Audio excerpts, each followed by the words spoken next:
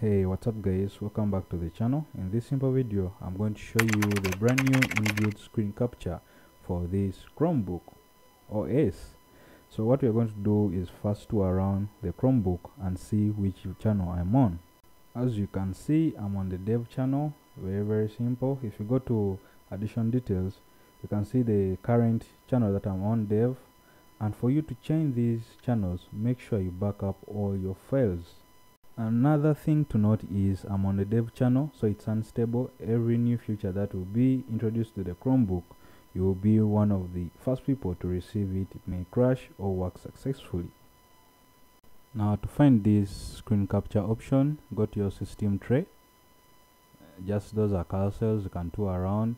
But at first that feature was not there. They were only those options but they added that screen capture option. When you click on the screen capture option you'll be presented to that menu. So that's the video current i'm recording. Now those are different options. You can turn on the turn off the microphone or turn it on. Then the first option is the full screen. The middle one is the partial a certain area on your screen that you want to record.